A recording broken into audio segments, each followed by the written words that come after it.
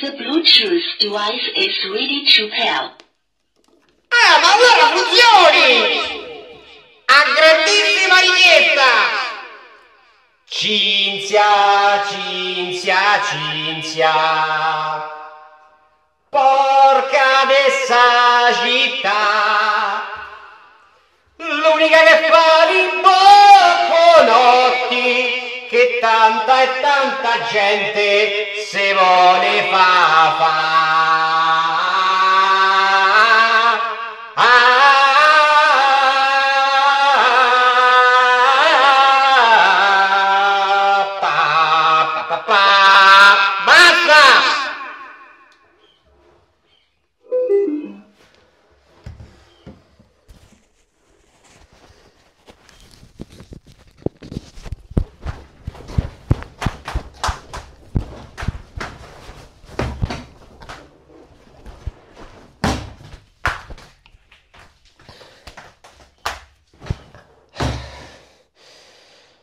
Che fatica, sono sputato. Allora, mamma mia ragazzi, fi- finalmente è tornato, non so come ho fatto a rimetterlo in vita.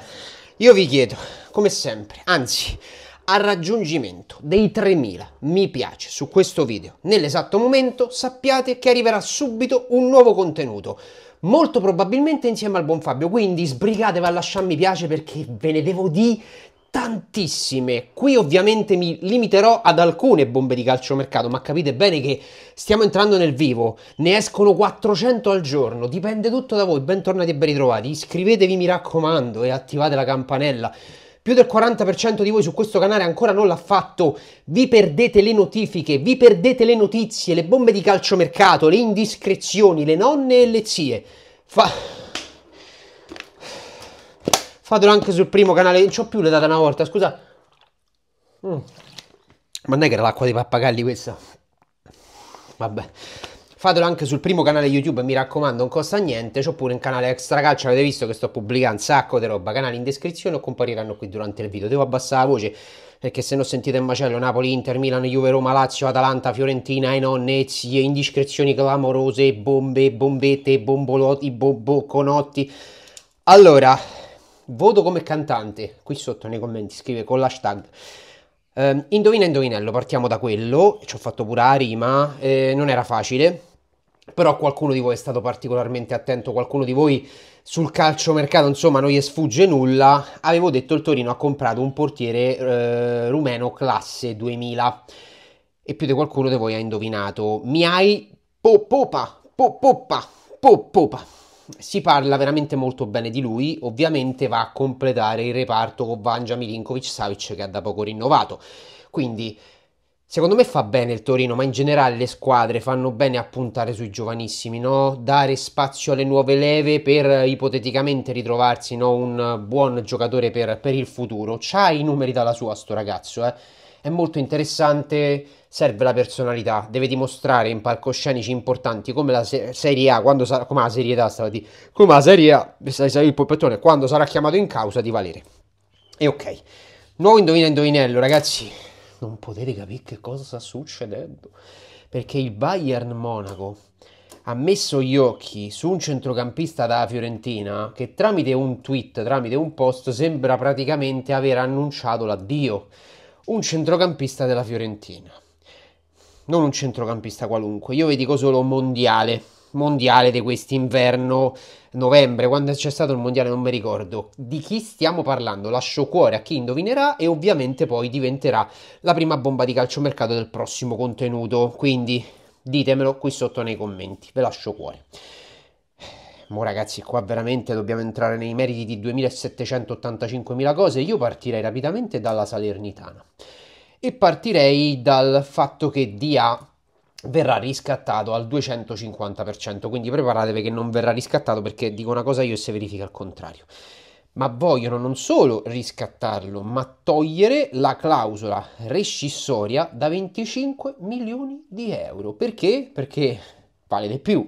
Di conseguenza capite pure bene che c'è mercato, eh? perché Dia, insomma, per quello che ha fatto in Serie A in questa stagione, eh, si è messo in mostra, no? Già lo conoscevamo, conoscevamo quelle che sono le sue, le sue caratteristiche, però ecco la Salernitana punta ovviamente a riconfermare i giocatori più importanti e ovviamente poi ne parleremo durante tutta questa estate delle possibilità, no? eh, acquisti, indiscrezioni da parte, da parte della Salernitana. Eh, passiamo all'Atalanta. Passiamo all'Atalanta e poi andiamo ai botti quelli più pesanti, perché innanzitutto ehm, l'ipotesi della permanenza di, Caste- di, di, di, Gasperini, è stata confermata al 100%. Gasperini resta fino al 2025 eh, e addirittura ha l'opzione per, per, il 2026. Quindi, secondo me, è la mossa più importante dei percassi. Prima di muoversi sul mercato, hanno capito che comunque con Gasperini, ragazzi, seppur c'è stata una piccola stagione in cui fuori dalle coppe, ma stanno ritornando con quel progetto, seppur giocano in maniera differente, un po' più a sprazzi, però, ragazzi ma in questo determinato momento storico cambiare Gasperini e prendere qualcun altro li può portare nel baratro, perché secondo me tante responsabilità in positivo ci sono da parte dell'allenatore, no? che ha avviato piano piano un progetto e comunque lo sta portando in alto, c'è da dirlo, assolutamente. Quindi questa era la prima mossa. Fatta questa si pensa al mercato, si sta pensando, c'è chi dice è fatta, io non ho trovato conferme definitive in merito, però Hien, Hien, il calciatore difensore centrale del Verona, il 24enne, fisico bello, imponente, possente e via dicendo, si appresta, questo è quello che stanno dicendo, se già non è accaduto, a diventare un nuovo calciatore dell'Atalanta. L'Atalanta che ovviamente ragazzi è un minimo la difesa deve svecchiare, eh? perché Toloi, perché Palomino, perché Jim City, per quanto poi Scalvini, non si sa se resterà, voci di mercato in merito, insomma è una situazione nebulosa, l'Atalanta deve ripartire da qualcuno, mi sembra il classico giocatore da Atalanta che è arrivato all'Atalanta Atalanta può fare veramente i botti con Gasperini. Staremo a vedere, speriamo per loro in positivo. La Lazio. Passiamo al mercato della Lazio. Um, Lazio che ovviamente programma il calciomercato futuro senza iglitare. Quindi um, probabilmente assisteremo a delle situazioni differenti, uh, profili un po' più particolari per il momento verranno dati più poteri a Sarri, eh, fatto sta che vogliono ascoltare l'allenatore perché poi se ascolti l'allenatore gli prendi quello che ti chiede poi sul campo, insomma, non sempre quello che ti chiede l'allenatore poi riesce a tramutarlo sul campo in positività, però intanto secondo me è un passo in avanti. Eh, Jetson Fernandez, ragazzi, del Besiktas, centrocampista molto interessante a mio modo di vedere, che ahimè da tifoso della Roma, con Sarri potrebbe fare, fare, il salto di qualità. Quindi Lazio che sta studiando le prime mosse di calciomercato per la prossima stagione hanno bisogno di rinforzi un po' dappertutto, da quello che ho capito, eh, perché Sarri chiede più di qualche tassello, ovviamente in base alle, disco- alle disponibilità economiche della Lazio, però numericamente qualcosa vuole che entri, ovviamente parlando. Passiamo alla Roma perché c'è una doppia notizia in realtà. La prima è che uh, dovesse partire Svilar, Svilar, chiamatelo come vi pare, e non ho capito per quale motivo. Mm, c'è chi dice forse per, per, farlo crescere in prestito perché nelle ultime partite hanno visto insomma che è abbastanza decente. La prossima stagione giocherà ancora Rui Patricio da titolare, quindi vole, voglio, volendo farlo crescere eh, lo cedi in prestito e eh, prendi una pezzaccia, questo stanno, dice pezzaccia per modo di dire, parliamo di Kakir, Kakar, no Kakar, Kakir del Trabzonspor e quindi vediamo se Svilar partirà in prestito addirittura a titolo definitivo, c'è chi dice no perché la Roma deve fare 30 milioni entro il 30 giugno, quindi si devono sbrigare, monetizzare 5, 5 di qua, 10 di là, 20 di là, devono in qualche modo o con una botta secca o con più tacche arrivare per eh, il settlement agreement, eh, financial fair play, le nonne, le cugine zie, va benissimo. Poi, eh, ma non ve l'ho fatto l'indovina indovinello, chiedo scusa ragazzi, mi sono dimenticato l'indovina indovinello. non ve l'ho fatto, assolutamente no. Ah no, no, ve l'ho fatto, ma che sto di... Scusate ragazzi, non... La stanchezza il sonno. Allora, eh, passiamo alla Juventus. Passiamo alla Juventus perché urge rinforzare le fasce tra un Alexandro che, ah, ecco ve lo dico immediatamente, è scattato il rinnovo automatico, ma si punta alla risoluzione. C'è chi dice che in realtà è già fatta, la devono solo ufficializzare o magari sarà già stata ufficializzata e mi è sfuggito, però Alexandro ragazzi, onestamente parlando, non è più quel calciatore, la Juventus cerca di rinforzarsi, deve pensare al futuro, liberano slot anche dal punto di vista dello stipendio. Ovviamente si stanno puntando per le fasce fasce esterne, Singo, ovviamente del Torino, e Olm dello Spezia. Olm giocatore molto particolare, molto interessante. Dice ammazza, ma Juventus si è ridotta a, a Singo e Olm. Una volta faceva i colpi Dani Alves. Ragazzi, dipende dal determinato periodo storico. Ovviamente sappiamo quello che è successo alla Juventus dal punto di vista economico, ma un po' tutti i club non è che stanno passando questi grandissimi momenti eh, si fa un calciomercato in base a quelle che sono le proprie disponibilità. Secondo me Holm sarebbe veramente un colpo di quelli pazzeschi. Singo non mi dispiace, ma Holm è un giocatore secondo me veramente de... il giusto connubio tra tutto quello che serve in un, in un calciatore di quel ruolo. Detto questo, Milan e Roma qua praticamente vanno a braccetto, vanno di pari passo perché il Milan ha puntato Tileman, Tielemans, Tieleman, chiamatelo come pare, quello là, quello dell'Eister che si è svincolato, giocatore interessantissimo la Roma ci ha messo gli occhi su già da un bel po' di tempo. C'è chi dice che c'ha già l'accordo. Come indica, eh, stessa identica cosa. Il Milan prova ad inserirsi e non lo so alla fine se verrà in Serie A, se verrà alla Roma, se andrà al Milan, però insomma sono delle ipotesi che stanno eh, prendendo sicuramente piede. Io alla Roma ce lo vorrei veramente tutta la vita. Non so se eh, si ufficializzerà nel giro di poco alla Roma o al Milan o altrove. Ce n'è un'altra sul Milan e ve la dico tra pochissimo, ma prima passo all'Inter che vuole rinforzare il proprio attacco, vuole sbarazzarsi in maniera ovviamente sportiva, non pensate mai, di Correa perché non sono soddisfatti pienamente. Lo stesso Inzaghi che aveva fortemente puntato su di lui, che lo aveva, fortemente chiesto, addirittura giocatore che ha costato di più perché Lukaku è arrivato in prestito nella sessione estiva del calciomercato 23-25, qualcosa del genere, ha fruttato poco, quindi te devi liberare De Correa, devi trovare qualcuno che te lo compra e ok, ma l'Inter sta puntando Luke Bacchio, il classe 97 dell'Erta Berlino, che è retrocesso tra l'altro e che in questa stagione ha fatto 11 gol, calciatore di una duttilità clamorosa, barra pazzesca, barra exaggerated, credo che lo sappiate, può giocare come prima punta, può giocare sugli esterni, può fare praticamente di tutto, forse è proprio il profilo, il tassello che si può andare ad inserire per sostituire Correa. Parliamo rapidamente di, di, Napoli perché questa è una cosa che dobbiamo assolutamente accennare eh, e poi ripassiamo al Milan.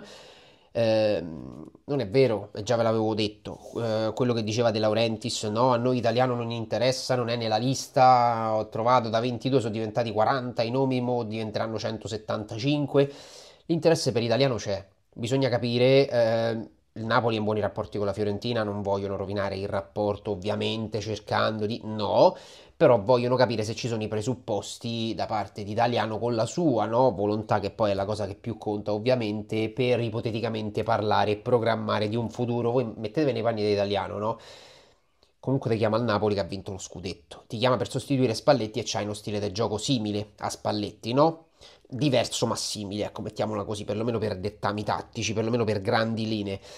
È ovvio che un pensiero minimo ce lo fai. Poi bisogna capire, bisognerà capire se il Napoli punterà fortemente su di lui, perché De Laurenti sa che ci stanno 40 nomi, quindi proverà a chiedere un po' di qua, un po' di là, e poi in base alle disponibilità che riceverà sceglierà, ipotizzo io, staremo a vedere, però insomma, roba, roba sicuramente pesante. Il Milan ha puntato Ciukwese, Ciukwese, se così si pronuncia, tanto non sono mai riuscito a pronunciarlo, più lo ascolto e più lo ripeto a, a caso mio, eh, del Villarreal. Ehm, giocatore giovane, interessante, profilo che mh, può, può, rinforzare ecco, il Milan, Uh, gioca a destra, gioca a sinistra, gioca sulla tre quarti, praticamente fa un po' di tutto e voi capite bene che comunque Brain Diaz tornerà a Real Madrid e rinnoverà da quello che ho capito se non mi sbaglio. Di conseguenza Ancelotti vuole puntare su Brain Diaz e il Milan manca un tassello lo deve sostituire. Si sta pensando proprio a, a Ciucquese. Vedremo se sarà lui il predestinato il prescelto oppure se chi lo sa quello che accadrà. Il Milan però ha bisogno aveva già bisogno di rinforzarsi prima dell'addio di Brain Diaz figuratevi figuratevi adesso. E poi ragazzi eh, che vi dico io qua?